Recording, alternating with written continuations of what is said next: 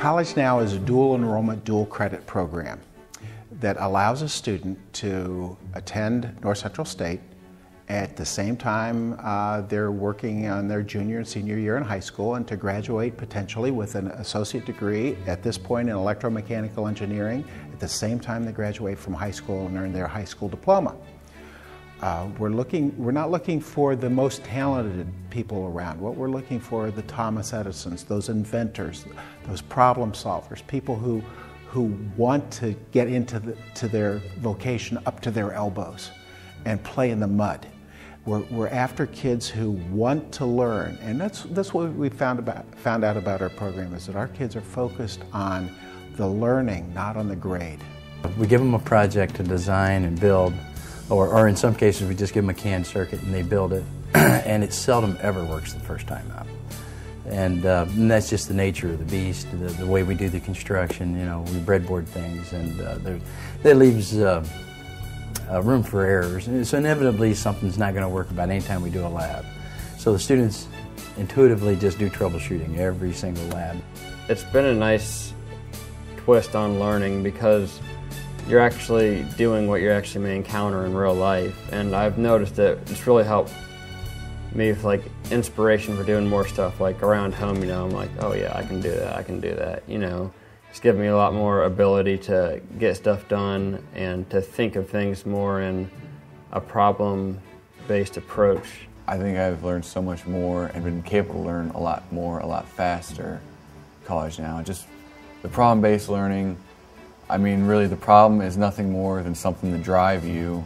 You know, something that you're you're after the answer, and uh, the problem. I mean, it just makes you determined to figure it out. Problem-based learning gives you a goal to work towards, and instead of when you're back in when we were back in high school, these were just perfect problems that were all linear and made up, and they, they were they were perfect world problems. With the problem-based learning, we can actually see that not everything's linear. It, it, it, it's yeah, it's kind of messy and, and the, the, solutions, you just have to work towards them and, and not get discouraged. The kids, because of their enthusiasm, they don't back away from the task. And when they come to the instructors for solutions and stuff, we often have to go back and uh, review some, some of the basic principles involved there. And uh, so it keeps us it keeps us moving all the time, thinking, and it also kind of gives us feelers out into industry, some of the problems that they're trying to deal with we're up to 24 business partners, and, and they, their active participation in, in the, the program has been vital. We have uh, members who, who provide students with, with problems, like Graywack Engineering uh, has done with the generator project that our, our seniors a year ago uh, completed.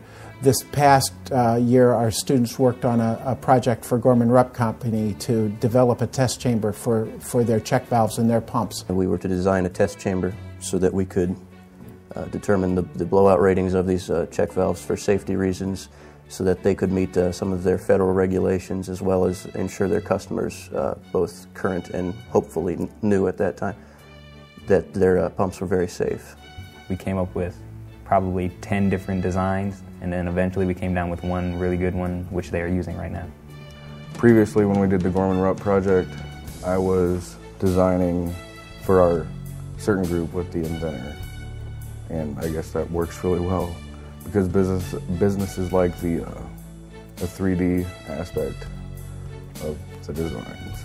Uh, right now we're working with uh, Smurfit Stone uh, container on a project as, as well as uh, Hi-Stat Industries. On the Smurfit project, we, we build like this apparatus and then we also have to think about what if we were using that and like what's going to be the easiest. So yeah, we definitely thinking of the customer first is part of what we do. This summer, a few of us had internship jobs at uh, companies around the area. And I think what some of those companies were happy to see as kids, even though we're just 16, 17 years old, we had already been involved in working as a team and uh, doing real engineering. Uh, right now for a summer job, I'm going to see if I can get a job like at Kokosing, but I'm not sure if that's going to happen yet. Probably going to wind up with an internship this summer, and uh, I'll probably I'm going to do the Miami night courses here at the Kehoe building to get my bachelor's. Uh, I'd like to go on to college to, I'm thinking about right now, either going into like petroleum engineering or civil engineering. Next year I'm starting at the Miami program at night, and during the mornings I'm going to go over to AU for a bachelor's in physics, and then on to grad school for physics. Starting in the fall of 2007, I will be attending Case Western Reserve University in Cleveland, Ohio. Uh, in starting into a four-year year program that hopefully will be shortened because of this a little bit uh, for electrical engineering or computer science, possibly a double major there, and then I'd also like to work past that into graduate school to at least a master's degree. I intend to go on to college, or I'm not sure what for yet. I'm going to try some architectural landscaping, which a lot of the engineering would come into play in that. But I think whatever field I go into, this is definitely giving me a head start for whatever I go into. As a person that's starting out in life with a big head start on other people my age, just because how much this program has benefited and helped out in the process of learning and gaining new knowledge. I think it's been a great experience, you know, because we're still graduating with an associate's degree from high school. But I mean, it's been a challenge a lot more than regular high school has been. I, I guess college now, like, is really sort of a blessing. I mean, if I had a chance to do it over again, I'd do it 100 out of 100 times. I know that other students have said about how life does not always work out in the perfect sense like it does in the math book. And the problem-based learning and the touring that we've done and the, and the things like that that the College Now program offers enables us to, to really get an idea of what it's really like out there in the real world. They're always challenging their own limits, so um, and just in that respect, to see young people doing that is so refreshing, so invigorating. It's just hard to describe, to be honest with you.